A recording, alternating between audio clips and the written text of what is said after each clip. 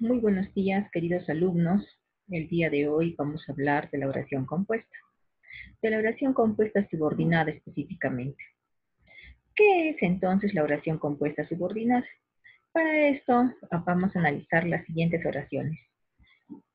A ver, el gato que, encontrábamos que encontramos perdido maullaba porque quería salir a la calle. El campesino dijo que regresaría con la lluvia. ¿Cuántas proposiciones tienen cada una de esas oraciones? A ver, recordaremos que las proposiciones equivalían a una estructura muy similar a la oración simple, con la diferencia que no todas las proposiciones tienen dependencia sintáctica como sí lo tiene la oración simple. Entonces vamos a observar también que cada proposición está conformada por un verbo. Entonces, ¿cuántas proposiciones tienen esas oraciones? Aquí te doy la respuesta, mira. El gato que encontramos perdido maullaba porque quería salir a la calle. como podemos visualizar, encontramos tres proposiciones.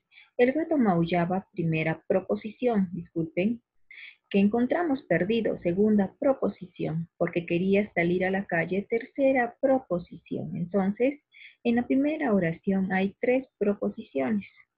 Y vamos a ver que, encontramos perdido esa proposición que subordinada adjetiva se puede reemplazar por un adjetivo, en este caso perdido. Maullaba por eso, porque quería salir a la calle, porque quería salir a la calle, que es una oración subordinada causal se puede reemplazar por un conector de causa, por eso. Ahorita te voy a explicar a qué me refiero con conectores y con proposiciones subordinadas. El campesino dijo que regresaría con la lluvia. Mira, el campesino dijo es una primera proposición, que regresaría con la lluvia, segunda proposición. El campesino dijo, eh, aquí tenemos una proposición principal que tiene una autonomía sintáctica. En cambio, si yo digo que regresaría con la lluvia, o sea, esa oración es subordinada porque necesita de la oración principal o proposición principal para poder, un sentido, para poder tener un sentido pleno. ¿Cómo así? Vamos a ver en los siguientes ejemplos. Vamos a observar que en una oración compuesta subordinada existe una proposición principal y una proposición subordinada. La proposición principal eh, son aquellas que van a tener al verbo principal, es decir, un verbo no, no va a depender de ningún otro elemento y básicamente expresa la idea principal. Mientras que la proposición subordinada va a contener un verbo conjugado, pero que va a depender de algún otro elemento de la proposición principal u oración principal nos va a expresar una explicación o una circunstancia que va a completar o modificar toda la proposición principal.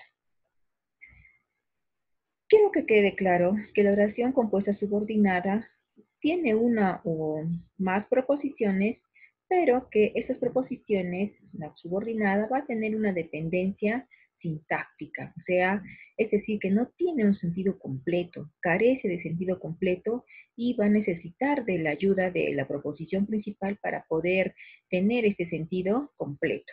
Ejemplo, mira, todos los chicos estaban felices. En la oración de rojo es la proposición principal. Mira, todos los chicos estaban felices, no hay más. Aquí tenemos un sentido completo. Esa proposición principal, que es todos los chicos estaban felices, no necesita de ningún otro elemento para transmitir una idea. Sin embargo, en la proposición que asistieron al concierto, si te das cuenta, esto necesita, para poder este, comprender em, el significado de que asistieron al concierto, necesita de una proposición para poder tener un, significado pleno. Por eso decimos que es una oración o una proposición subordinada. Entonces, la oración compuesta subordinada está conformada por dos o más proposiciones dentro de las cuales se halla una proposición principal, que en este caso es todos los chicos estaban felices, y una proposición subordinada que es que asistieron al concierto. La proposición principal no necesita de ninguna otra, de ningún otro término para poder expresar una idea completa, mientras que la proposición subordinada necesita de algún elemento de la idea de la proposición principal para poder transmitir esa idea. Muy bien. Ahora veamos veamos la clasificación de la oración compuesta. Simplemente vamos a recordar que la semana pasada hicimos que hicimos la clasificación de la oración compuesta, la cual se clasificaba en coordinantes y subordinantes. los coordinantes em, eran aquellas proposiciones que tenían un mismo nivel sintáctico y podían ser a su vez juxtapuestas y conjuntivas.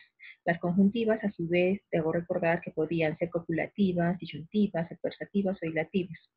Y vamos a ver el día de hoy las proposiciones subordinadas que también se dividen en tres, en adverbiales, adjetivas y sustantivas. ¿Cómo así? Te muestro en, el siguiente cuadro. En el siguiente cuadro vas a observar que las oraciones compuestas subordinadas son tres. Que eh, estas tres son sustantivas, adjetivas y adverbiales. Los nexos de la oración compuesta sustantiva son que, quién, cuál principalmente, y la característica es de que esta oración subordinada sustantiva puede ser sustituida por pronombres personales y va a funcionar dentro de la oración como un sujeto, como una posición, como un objeto indirecto, como un objeto directo, como un agente, como un predicativo.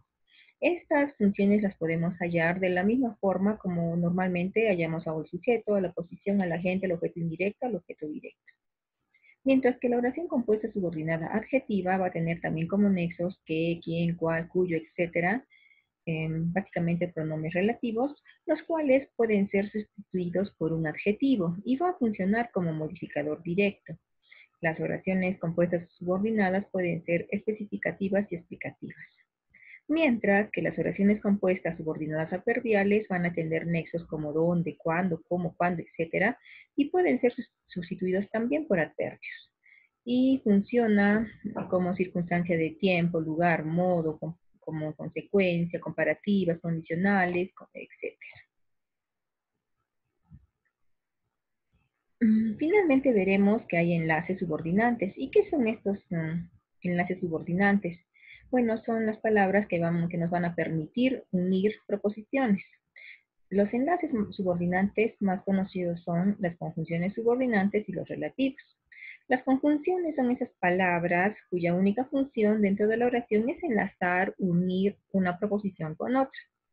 Eh, las formas de las conjunciones subordinantes más importantes son estas, qué, quién, cuál, cuyo, sí, por qué, a dónde, mira.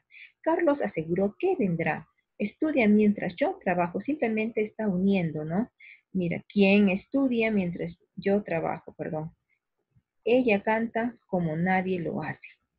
Bueno, y vamos a observar que los enlaces subordinantes relativos se van a caracterizar porque van a cumplir dos funciones al mismo tiempo. ¿Y cuáles son esas dos funciones? Bueno, van a funcionar como elementos de enlace entre dos proposiciones y también a la vez van a introducir otra proposición. Por ejemplo, mira, el perro que ladró es mío. Eh, están introduciendo otra proposición, ojo, y algo muy importante.